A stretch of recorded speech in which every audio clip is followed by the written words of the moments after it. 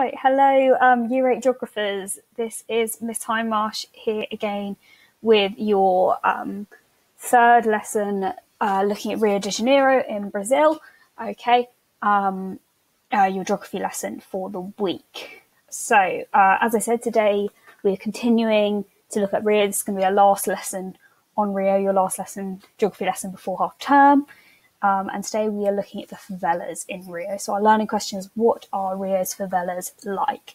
Um, I've just got a quick do it now here for us, and I've got two photos on the screen. And I want you to try and come up with five questions you have about these photos, okay? At least um, a minimum, a maximum of five, sorry. Five things you'd want to find out about these photos. Okay, so you can pause me and try and write those down now just for a minute. Um, and then I'll come up with some, share some of my own with you. Okay, so some of the questions I came up with, I thought about um, where is this? Uh, when was the photo taken? I'd quite like to know. So then thinking about how different would it be now if this photo was taken, these photos were maybe taken a long time ago. Um, who lives um, here? Who lives in these places? Um, what are the challenges of living there? Okay. Um, what's it like there? I'm just thinking about, it looks quite like dense population, like lots of people living in a very small area. It looks like quite poorly built housing, not built kind of um, like a modern skyscrapers or something. It's like a um, informally built using kind of uh, recycled materials, um, uh, cheap materials. Okay, kind of looks like a typical slum, which is what a favelas is. And this is two photos of favelas. Okay, so hopefully those just uh, getting you thinking, getting some questions. Hopefully by the end of this lesson, you will know some of the answers to these questions. And if not, you can probably go try and do some of your own research and find out any answers. So, what are we learning about today? We're learning about life in the favelas in Rio. We're going to learn what they are, um, how they've grown and where they're found, and then we're going to have a look at the main challenges facing people there um, and how the government and people living in those favelas are trying to improve things there. Um, this is really, again, really interesting to learn about, I think. It's learning about different culture, a different country and city, just expanding your geographical knowledge of the world around you and thinking again about the challenges people have there and how they're different or similar to the challenges faced by people here in the UK. All right. Um, also, in this lesson is going to be some chance to practice answering some uh, really common geographical knowledge, uh, geographical questions you have to describe graphs or describe the distribution of something. Okay, so we're going to get there. We're going to have a bit of an intro where I've got a video I'd like you to go and watch. We're going to do some describe question practice. We've got a challenges uh, page divider task where we're going to do some uh, good note taking. And then lastly, you're going to go a chance to do some independent research uh, by yourself if you'd like to. Okay. So, firstly, what is a favela? So, favelas are found in Brazil, and a favela is a slum or shanty town located within or on the outskirts of this country's large cities, especially found in Rio de Janeiro and Sao Paulo, which is the largest city in Brazil. Um, a favela typically comes into being when squatters occupy vacant land at the edge of a city and construct shanties of salvaged or stolen materials. Okay, so that is just a Google definition. Googled it. That's the definition that came up, but I thought it was quite a good one. So favelas are what slums in Brazil are called, and slums um, are informal settlements. Okay, they're normally poor people. Normally move to a city, and they need somewhere to live, and they can't afford um, official formal accommodation. Okay, so they um, occupy empty land, okay, or land that's not used for being used for anything else, and they build with whatever materials they can find or they can afford to buy um, a home for themselves and maybe their families. Okay, and over time these um, settlements grow as more poor people move into a city and need somewhere to live. So um, they're called informal, or because they're often illegal and that means um, they're outside the government's control and protection. There's no one providing services there. There's no one uh, making sure the houses are safe and the safe, uh, the streets are clean. A lot of the times, no one trying to protect against crime or anything like that. They're really informal settlements. They are slums, often very poor conditions of the people living there. Okay. Um, I want you to get a bit more of a feel for um, what life is like in uh, Rio's favelas. Okay, so I've got a video, the first one here for you. I did try to put it on my PowerPoint. Um, I'll try and share the link if it's possible in the video description. I'll see if I can. Um, but if you just like type this link into another tab or in YouTube, on YouTube, if you search inside Rio's favelas, the city's neglected neighborhoods, sorry, it's a bit long, um, into YouTube, it should be then the first search result. It's a video by Vox and it's about nine minutes long. And I want you to pause um, me now and I want you to go and watch that video just to give you a bit more of a feel for uh, what life is like in Rio um, slums. And it's quite an interesting video. It gives some historical background to the favelas, says what life is like there for people now. It gives quite a positive view, I would say. It shows some the real opportunities and the real change people um, independent of the government or local authorities are trying to implement there to improve people's lives. But it also does touch on kind of the crime and the challenges in those neighbourhoods. Okay, so go watch that video. Um, as I said here, there is a it's the second part of a documentary done by Vox. Um, you can watch the first part if you want; it's optional, but they're both really interesting. They're both about Rio, so I do recommend um, watching part one and part two if you've got the time. It'll take you about uh, twenty minutes. They're both about nine minutes long. Um, but go do that now, and then please uh, come back to this video. Take any notes you want to. Uh, what are the favelas like in the video? What are the people who live there like? Are there any challenges that you can already see um, to life there that we've learnt about? Okay. Okay, so hopefully you've gone and watched that video and really enjoyed it. I'm sorry that I couldn't put it on my screen or anything like that. I did try, but the technology is clearly beyond me. So hopefully you understood enough of it um, to get a really good feel for what the favelas in Rio are like. Okay. So before we talk more about what they're like and the challenges, I want to get kind of um, a geographical perspective on how the favelas have grown and where they're found. So we're going to practice two describe questions. And describe, when we see that command word in an exam question, we need to think about saying what we see. All right, no, don't need to try and explain anything. Um, don't make it overly complicated. Say what you see. Three mark question. You can keep it quite simple here. You can do three points for three marks. Okay.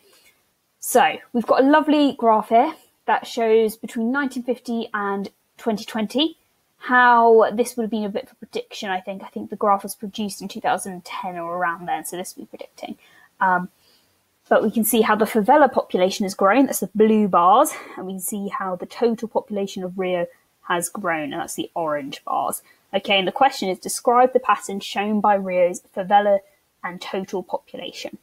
Okay, so describe the pattern shown by the graph, basically. And when we get a question like this, I like to use tea, right? And that is why I've got the cup of tea to help you remember that. So I like to do a trend, so the T, where you want to kind of be saying the overall pattern. What are the bars doing in this case? Are they increasing? Are they decreasing? Are they fluctuating? Is there no kind of real pattern? Ask yourself those questions. You've got your answer to the first point. You then want to do your second sentence as an example. All right, so you want to quote some data from the graph in front of you, okay, to support your first point. So if you said um, the population, the favela population, have increased overall. That's your trend. Your example would be um, what is the increase? So the increase from one point to another. So what was the increase, for example, between 1990 and 2000 for the total population? It increased by 0.6 million. Okay, because remember the graph's in millions here. Right, this is 1.3 to 1.5 persons. Um, and then finally, I like to do an anomaly. So an anomaly is something that doesn't fit your um, data something different that doesn't maybe fit our overall trend. And then this one is quite tricky to come up with an anomaly because there isn't anywhere a year where it maybe decrease. So I'd think about um, where there is a sudden increase. Where has it increased the fastest, which maybe hasn't fit the pattern? So for all of these, it's increased by about 0.3. So you might want to think about this one between 10, 2010 and 2020, where that increase was suddenly um, a lot bigger. The population was growing a lot faster than it has in previous years. That could be your last point. Okay, so I'd like you to try and answer that question now. So it's three sentences, really. Um, follow that pattern trend, example, anomaly. So whenever you see in a graph in geography and it's asking you to describe it, remember T and it'll help you to answer that question. All right, if you fin- finish that nice and quickly, have a think about why favelas might have grown. Okay, you can pause me now and answer that question, or wait a moment, I'm going to put some sentence starters up to help as well if you're still feeling a bit stuck. Okay. All right, some sentence starters. And again, now you can just pause and try and fill in those gaps for me. All right, so if I was answering this question, I would say Rio's favela and total population, uh, favela population, total population, maybe makes more sense, has increased overall between 1950 and 2020. For example, the favela population increased by, um, let's do from 1980 to 1990, um, increased by 0.2 million between 1980 and 1990. Um, the population grew more quickly between 2010, 2020, and 2020. Um, I would say maybe increasing the total population increasing by uh, 0.5 million. Okay, uh, faster than in previous decades. Nice and simple. Um, three easy marks if you've got those three points down the question. Um, describe questions are really straightforward if you remember that kind of um, tactic for how to answer them. All right, nice and simple. All right, next. Um, I've got another describe question for us to practice here, but this one is a map and it's asking us to describe the distribution of Rio's favelas. And Rio's favelas on this map are shown by these red splotches, and they're unauthor- unauthorized um, settlements, and that means um, a favela. Remember, they're an informal, legal settlement often. All right, so we can see how they're distributed across the city of Rio. Remember, we've looked about Copacabana is maybe that richer area of Rio. Uh, Christ the Redeemer, Christ the Redeemer, Christ the Redeemer statue that's symbolizing the airport up here. So we want to think about the distribution. It means the spread of something. So where where are those um, settlements found? Okay, and we can use, it doesn't exactly work exactly the T acronym um, for map questions and distribution questions, but it still can be applied a little bit. So we still want to be doing a trend and in general, where are they found? A big picture. You will want to get more specific, okay? So, for example, something that supports your point, name a specific place where one is found, use your compass directions, explain where that is. Um, you could then do an the opposite. So a kind of an, similar to an anomaly. Where are there no favelas, or where are there um, less? Where are there fewer favelas? Okay. And remember, with whenever we're using maps in geography, we always want to be using our compass directions. So north, um, east, south, and west. We never want to be uh, saying the top of the map or the bottom of the map because uh, that is not very good geographical language. Okay. So again, I want you to try and answer this question for me. So pause me again, write a really good answer. Where are the most of those kind of red splotches? Where are they most commonly found? Use name an example. Um, where are there less? Okay, there are fewer ones. All right, try and answer that question for me now, and then we'll go for an answer. So, um, I would start off. I'd say, in general, I'm being really general. I'm saying the general trend. Uh, the favelas are located um, more commonly in the north of Rio, okay, close to the airport in the northeast. All right, uh, but you could make a point. They are, however, found throughout Rio potentially. Uh, for example, uh, Mare Favela is located in the north, close to the airport. Okay, talking about this one here. You can see Complexo de Mare is another one, all close to the airport in the north. There's your example said there for you.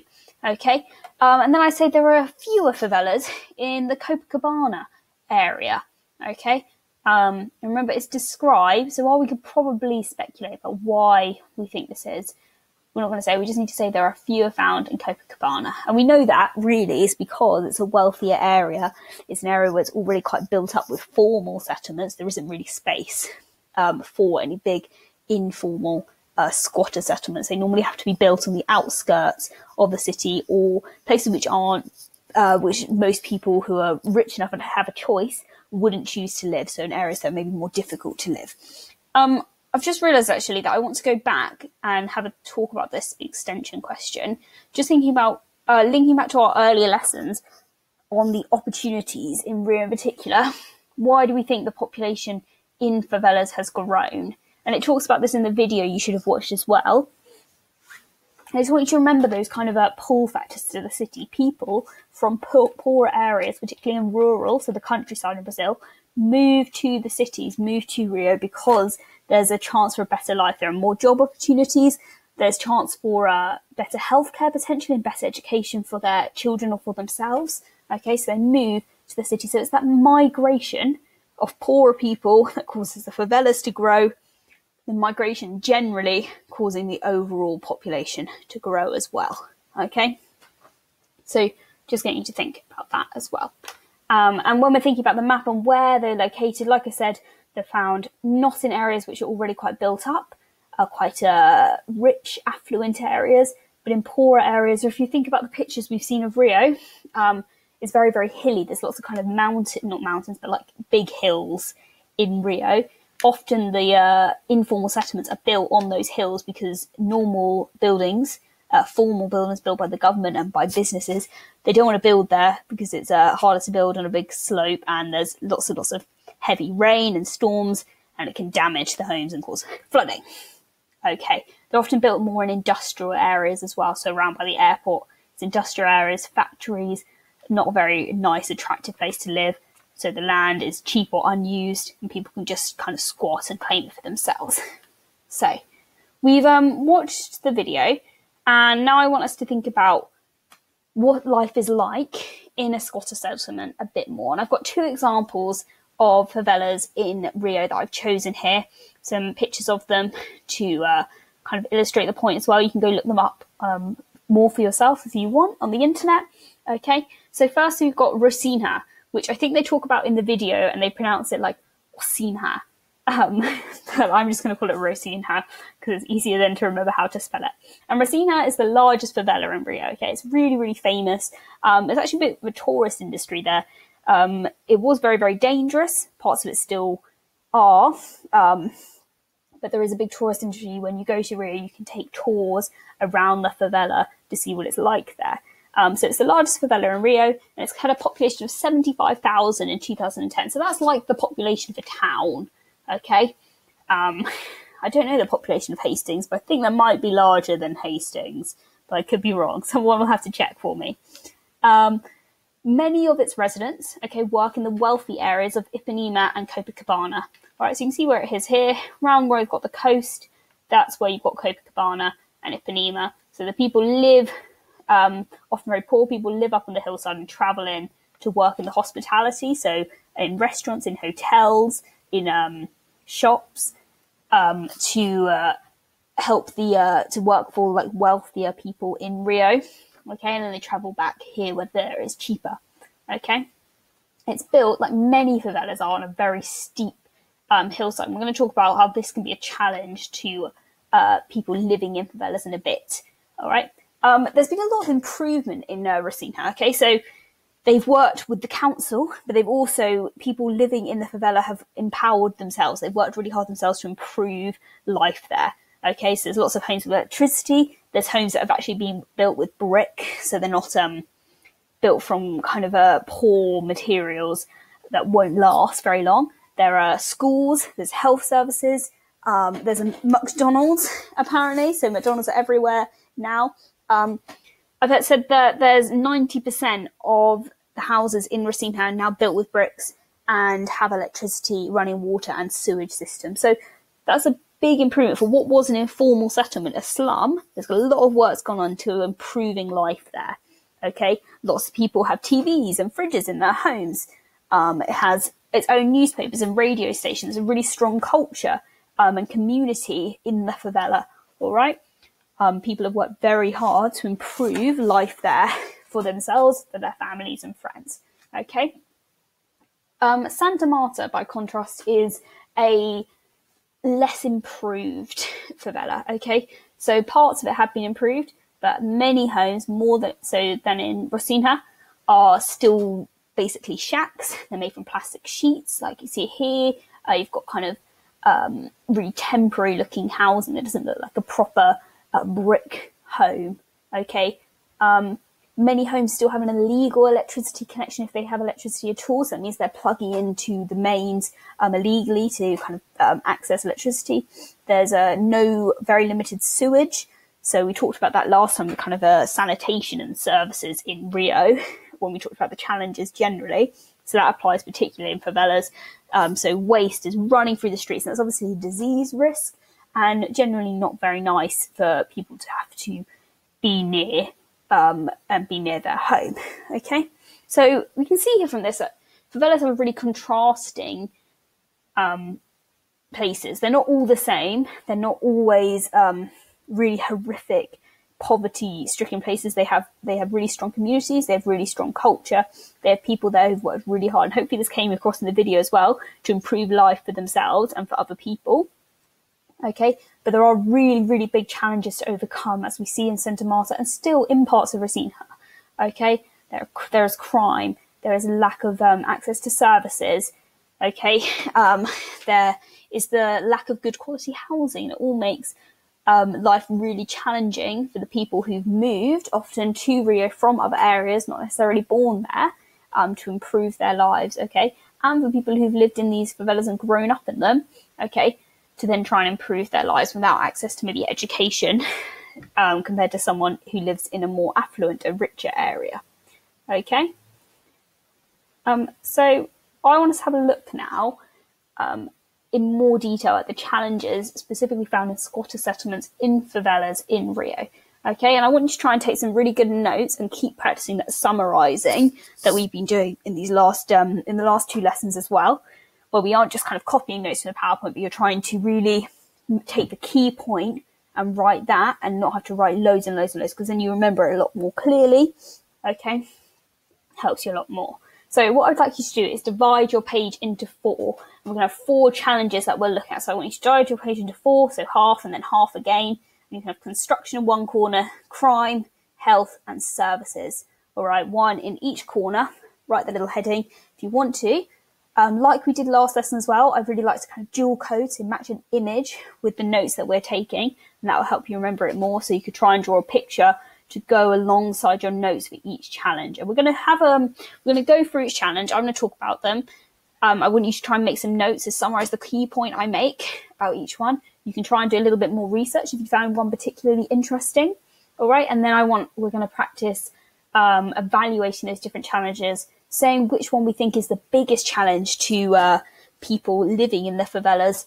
Okay, um, and why we think that it's justifying our opinion. So, firstly, um, again, I'll also say I'm putting notes up on the screen. If you need to pause the video to catch up with writing your notes, um, also you can listen and then write, please do so. All right, so construction first of all. So, um, houses in favelas are often really poorly constructed. They're built illegally from basic materials such as plastic sheets or broken bricks. All right. Um, many favelas are built on steep slopes. You can see how um, kind of steep they are in the photo here. Um, this is really dangerous because uh, Rio uh, is in Brazil. We get a lot of rain there. Um, there are a lot of big storms. What you've had is big storms come, and the homes are literally washed away by landslides that the uh, storms and the heavy rain cause. So I've got an example um, that I found here. So in 2010, 224 people were killed 13,000 lost their homes when um, a landslide uh, swept them away. Okay, so it's really awful. This also makes it really difficult um, to build roads because the slopes are so steep. This is why the land was vacant. No one wanted to live there because it was too hard to build roads, it's too hard to build proper housing. So it was left to the poor, to squatters to kind of claim for themselves. All right, and they built these homes. Um, but now they're not built properly. A lot of them time they can't afford to build them properly, um, and they're at risk of these landslides. Okay, so that's construction. That's one challenge in Rio.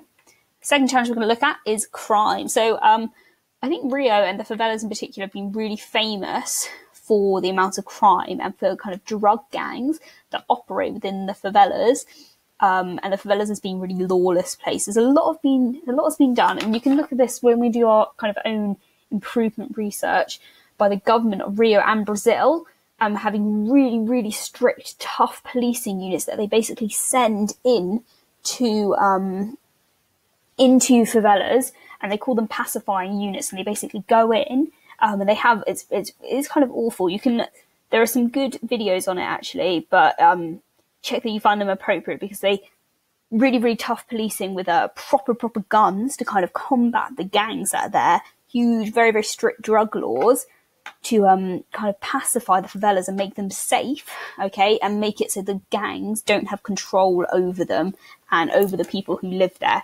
All right, so um, like I said, there's videos on this. Sky News has a really good one that you can look for on YouTube. Just look for a kind of favelas, drug gangs, but again, um, they can be quite. Uh, they show guns, so just just like warning there before watching. Um, so there's a high murder rate in the favelas, so 20 per 1,000 people. And I tried to look up the UK's as a comparison, and we're um, less per 1,000 people. We're about 0.1, maybe, yeah, so really, really small comparison. 20 per 1,000. I don't want to like scare people, but that's um if we think about the population of our school, it's 1,500 pupils. So if the population of our school, that'd be 25 murders. Um, per. Leonard's population. Okay, it's a lot of people being killed. So that high crime rate, and that all links to the drug gangs and the violence that dominates in the favelas. And despite them sending in these police to try and um, end these the control of these drug gangs and make the favelas safe, all right, this is um this has been limited success in some places because uh, people think the police are unnecessarily violent.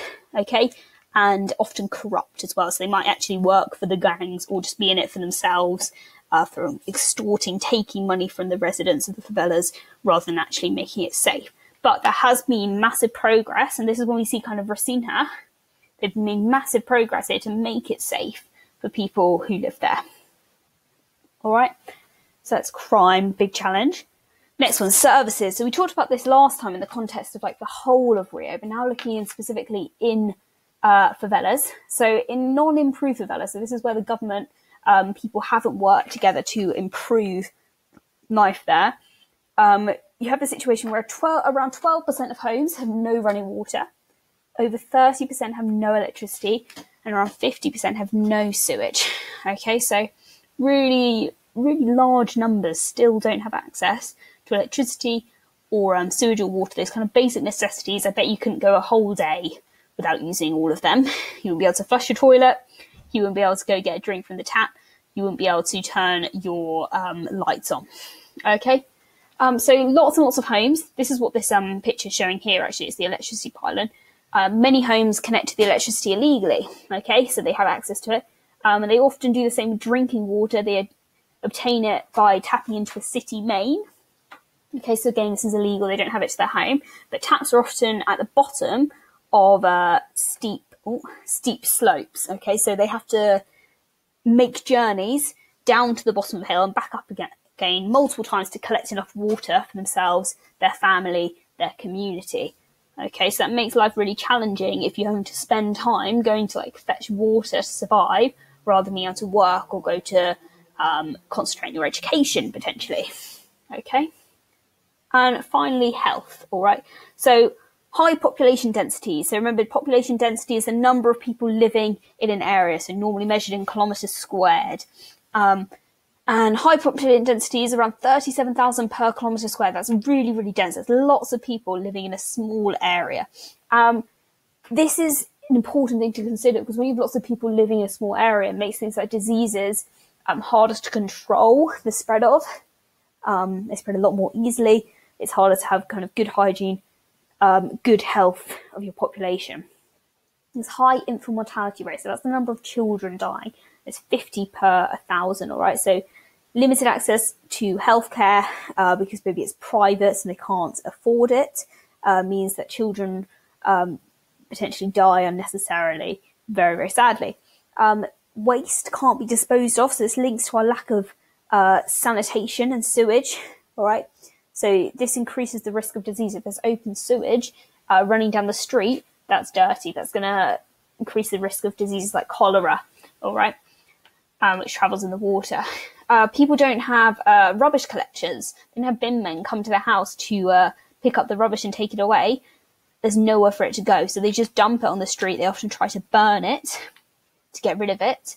Um, that's a risk to houses built from wood, so you might have some house fires, bad for your health. Uh, the smoke, obviously, they're not burning things. Well, no smoke is good for you, but they're burning things that are also maybe toxic or dirty, and that smoke is really, really harmful to your lungs. Okay. Um, so four pretty massive challenges in squatter settlements. Okay, so these are people who've moved to Rio, they're trying to improve their lives, and they're faced by these massive challenges. They're at the risk of being murdered, they're living in homes that could be swept away in a storm, they have to illegally tap electricity, they don't have access to healthcare. It makes really life really challenging, so it makes it really even more impressive that so many of these people have improved their lives and so many of these favelas have been massively improved by the people who uh, live there, who've worked really hard, often without support from the uh, local government, to improve the living situation there. Okay. Um, so again, yeah, pause me if you need to finish your notes, and then once you've finished, I want to number your boxes one to four, with one being the challenge that you think is the biggest, the biggest barrier to people in uh, favelas in Rio uh, being able to improve their lives, okay, and live happily, healthily, and safely. And then four being the challenge which is going to have the least impact, is the easiest to overcome. All right. Again, there are no right or wrong answers here. The main reason I want you to do that is because then I want you to justify your decision. I want you to say why you think construction potentially um, is the biggest challenge to people in Rio. I want you to write a sentence explaining why. So if you have said construction, I think that construction, which is, say what construction is, is the biggest challenge in Rio because, and say why you think that. Okay? That is the important skill that I want you to learn here. That's where we get more marks, where we can justify our answers. All right, you have to support your argument. Okay, you can't just say stuff without backing it up. Okay, so um, pause me again so you can finish your answer. Make sure you've ranked them one to four and then written a couple of sentences underneath saying why you think whatever you've put as the biggest challenge is. And you can potentially do why whatever you put as number four is the um, least challenging. Okay? All right, and then um, next thing we're going to do, um, I didn't want to do more talking at you this lesson. So I thought we'd try and set up some independent research. Okay, something for you to go off and do by yourself, and you can kind of try and make it more interesting for yourself by choosing an area that you're already interested in. So we've seen that there are lots and lots of challenges in Rio um, favelas, okay, for the people living there. Um, and these favelas have existed for a really long time, and they still exist now, and there's still challenges there. So I just want to give us some background of how the government and people there have gone about improving things. So until 1980, Rio's government did not acknowledge favelas' existence. This meant they didn't show on any maps or anything of Rio. The government pretended they weren't there because they were illegal, informal settlements. The government had no control over them. So in the mid 1980s, urban planners decided to try and help the oh dear, there's a serious typo. typo that I don't know what I was supposed to say, to help the citizens in the favelas, I'm going to say. So instead of destroying the favelas, this would have just left um, residents homeless. They did have very limited housing for them to move into, so they couldn't really destroy them. Um, improvement projects were designed to upgrade and provide services to favelas. Okay, so they decided um, to try and improve life in in the favelas rather than destroying them and starting again. These projects are ongoing. So it starts in the mid 1980s, still ongoing today. Still favelas where they're very unsafe. That population is still growing. They're still poor, moving into the favelas today. So your task is to research how the government has gone about improving things in um, favelas. Okay? So I want you to use the internet to research answers to this question how is Rio working to improve life in Rio's favelas? Um, for example, you can look up the Favela Bairro project um, and how it's worked in Complexo de Alemo. I'm sorry for my pronunciation, which is Complexo Alemio. Alemia, I, honestly. Um, I'm no, no good at Portuguese. Um, is a favela in Rio, and this is one of the projects that Rio has introduced to improve the favelas. Okay, this is what they call it, Favela Bairro project. All right, so I want you to try and find out what improvements have been implemented. So I'll give you a hint. So they've done things um, like improving access to water supplies. They've done things uh, like building uh, proper roads so they can get people get in and out more safely.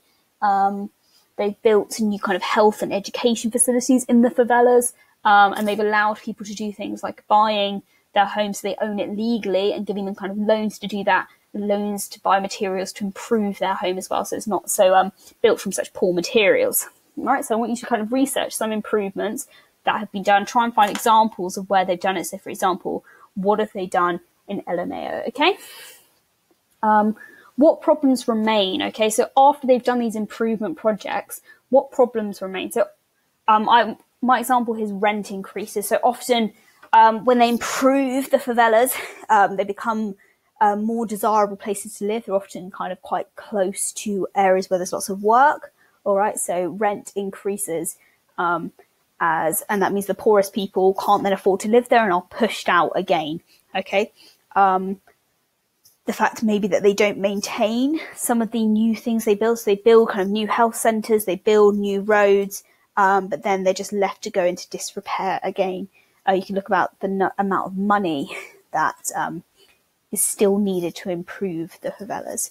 Okay, um, and then I've given you one website just to sort, uh, just sort, uh, start you off.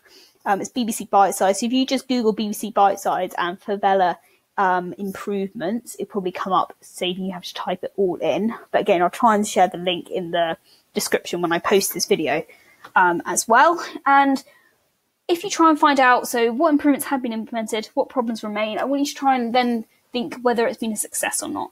So, conclusion to your question um, Has Rio improved life in the favelas or not? Why has it been successful or why has it been a failure? Okay, so this is quite a big ask, it's potentially quite like a, a lot of research, but try and uh, do some Googling, choose trustworthy websites, okay, um, watch some YouTube videos, uh, think how has life improved in um, in favelas, what has been done to cause that improvement. All right. Um, pause if you need any more time uh, on that uh, answer. And like I said, you can um, you can present your findings as a fact file, as bullet points, um, as a mind map, as a poster.